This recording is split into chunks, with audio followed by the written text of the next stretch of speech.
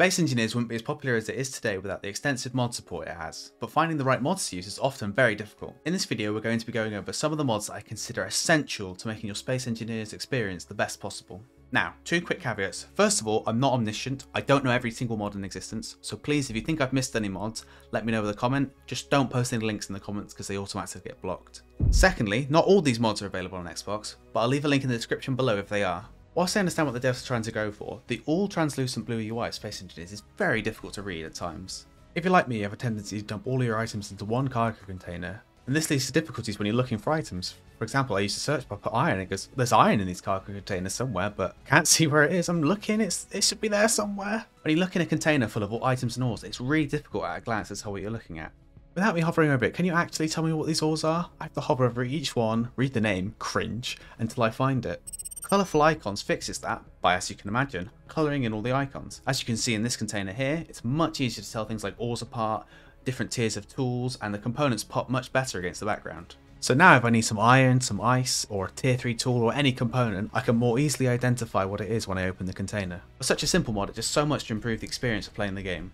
I can't describe how unbelievably useful build info is. I mean, I'll try, it wouldn't be a great video if I didn't, but I mean it when I say this, adding this mod to your game will change your life. Build info adds lots of extra information to the game. For example, when you place a block, it shows you basically everything you need to know about the block. For example, on this drill you can see its weight, its HP, its cargo space, the mining radius, and so much more. And once the block is placed, it lists all the information on the interface that isn't normally shown. For example, in this hydrogen tank, you can see exactly how much hydrogen you're currently using, and how long you have until it's all used up. And considering the number of times I've seen you guys run out of hydrogen and fall out the sky, I think this might be really useful to you guys. Please, I don't think I can handle if I see another hydrogen ship crash right outside the base. It doesn't stop there though, as the mod allows you to enable lots of different overlays that show many different things, the most useful of which being the radius of drills, welders and grinders, and this overlay that shows which blocks your thrusters will damage. Additionally, if you get into the cockpit of a ship, there are several extra overlays as well. One of these shows all the names of the blocks and groups on your hotbar, meaning you no longer need to decipher the base game's cryptic symbols and other people's dodgy groupings. And there's also a bar that visualizes the storage capacity of a ship, and if you have a drill or a grinder equipped, it also shows how full it is, making it easier to work out when your ship is full.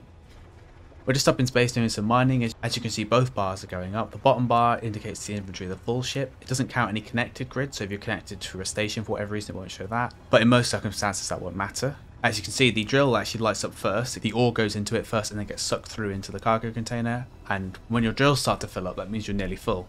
As you can see here in the inventory, as the UI indicated, all my cargo containers are full and my drills are nearly full. The best part about all of this is, everything I've just listed is highly configurable, meaning if you don't like something, you can just turn it off. There's even more features I haven't listed here, so please, please, please check out the mod page to see everything Build Info has to offer. AQD or Quantum in Depth is a collection of mini mods that aim to improve the game in many different ways, with the aim of improving that core Space Engineers experience. As each mod only contains one or two features, you can mix and match the mods to tailor your experience to your own liking. Notable mods include Small Grid Expansion, which adds small grid versions of some of the blocks that are exclusive to large grids, such as refineries, assemblers and jump drives. Using this, you can build a small ship that does basically everything you need. My favourite addition is the Small Grid Jump Drive, as I quite often want my designs to emulate the Rebel Alliance in their feel, and all their ships have built-in hyperdrives. Armor expansion, which adds several new armored slopes that are currently not available in the base game. If you're like me, this will be exceptionally useful for you, as there's always a shape that I need in the base game that I can't find. Also, what's with the game's problems with points? Why can't I build a good looking nose cone in vanilla? Conveyor expansion, which has several new conveyor variants, although rumour has it that some of these might be getting added in the next update. A standout addition from this is the conveyor adapter, which allows you to easily convert between small and large conveyors on a small grid. Additionally, there's AQD vanilla extension and AQD quality of life, which are collections of mods by many different authors. As their names would imply, enhance the vanilla experience and include several of the other mods on this list. Something interesting to note about Vanilla Extension and Quality of Life, all the mods included list as required items. This is because if you add a mod to your world, all its required items are automatically added into the game. For example, if I were to enable AQD vanilla extensions in my game, even though I'm not subscribed to all these mods, they would all be added to my game as well. Same goes for quality of life. If I were to enable quality of life in my game, it would add all these mods to my world as well. I don't know how this works with the mod IO, but on Steam, this is definitely the best way to do it. Computer, poor simulation.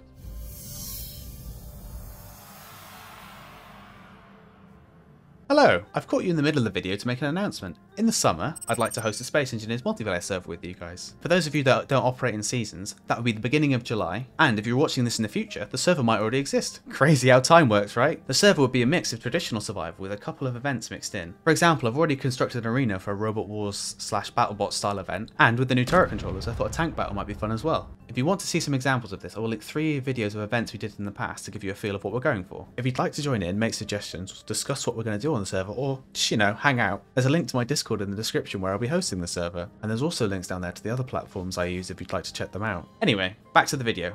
Computer, resume simulation.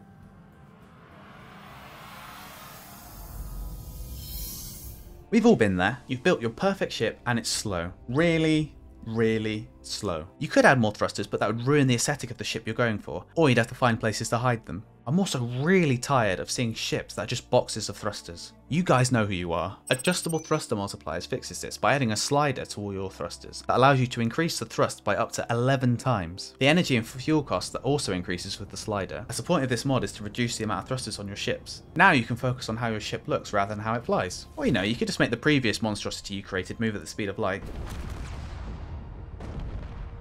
Do you ever have a block, like this light for example, that you want to change the settings of, but you have no idea which of your thousand lights on your ship it is? What if you could go to that block and change all its settings just by looking at it? Build Vision, no relation to Build Info, allows you to do this. All you have to do is look at a block, press Ctrl and either mouse up or down, and it opens one of two menus, one designed for controller and one designed for keyboard and mouse. From here you can rename the block, toggle it on and off, and change all its settings, like for example the colours on this light. Basically, if you can change it from a cockpit, you can change it in Build Vision. And you can also copy and paste the settings from one block to another. So this is incredibly useful for doing things like turning off steering on wheels. Unless you remember exactly which order you place the wheels on your vehicle, which you probably don't if you're building it in a hurry, you're not going to know which these front are without messing around with the settings. With this you can just go up to the wheel, you could rename it to front like I already have done, then you can go to the back wheel, name it back, and then turn off steering. No longer faffing around in menus, turning wheels, seeing if they're on or off, etc etc. You can also unlock that pesky connector that's already been annoying at the press of a button. And because it only confirms your settings when you left click, if you for example increase the velocity of something, like a hinge or a piston or whatever, and then right click when it's in the position you want, it will then stay in that position because it will go back to the velocity of zero it started on. If you had a bit more practice like I clearly need, you could use this to build all sorts of wacky contraptions like cranes and walkers and all that kind of stuff. Or you know, you could just use it to rename your cargo containers like I do. Once you get the hang of using Build Vision, it will be one of the most powerful tools in your engineer's arsenal. And finally, a shameless self-plug, the Zero's Tweaks collection is a series of mods I've created that tweak some of the blocks in the game to improve their effectiveness. Changes include massively improving the radius of ore detectors, improving the radius of all tool blocks such as drills, grinders and welders, increasing base thruster strength, adding larger radius for lights and spotlights, and many other minor tweaks to improve the gameplay experience. Basically, these are my own personal tweaks to make the game more fun. The whole list of changes can be found linked in the description, and of course, I'm open to tweaking or adding things into my mods, so please let me know if you have any ideas. If you want to learn more about any of these mods, you can find links to them all in the description. And I'm sure you all have mods that you can't play without, so please let me know with a comment. And finally, also let me know if there are any groups or themes of mods you'd like to see in future videos, and maybe together we can build the perfect Space Engineers experience.